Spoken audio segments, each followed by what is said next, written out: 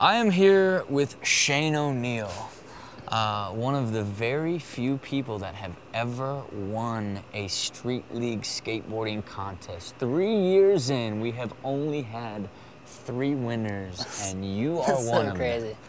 That's so crazy, man. Tell me about what that felt like when you won your very first pro skateboarding contest. that was my first pro contest that I won. I was couldn't believe it, man. Like that was the third street league that year, and I was still so new to being pro and being in contests, and yeah, man, I can't even like s- explain that, you know. Tell me this, what was it like for you the first time you stepped foot in the United States of America? First time I was, I came here. I came here for a week, and uh, I was 14, and I think no, maybe 13.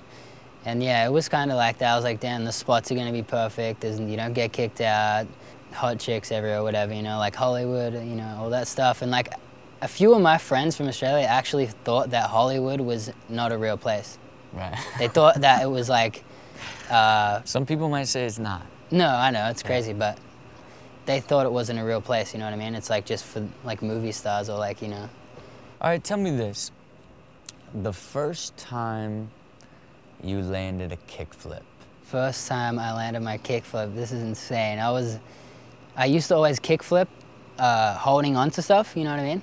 Okay. The first time I did a kickflip was in my bathroom. Okay. That's insane. Huh? How what were you that? holding on to? You know the like the towel thing? Okay. I would like hold onto that and kickflip, and then I just did my first kickflip. So funny. Crazy. it- tell me the feeling. What did it feel like?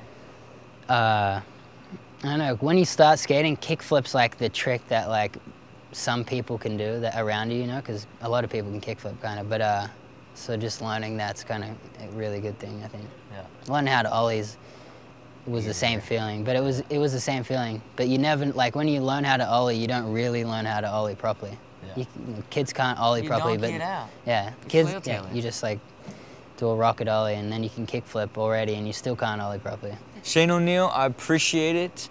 The first kickflip, ladies and gentlemen, is a special thing, and he did his in a bathroom.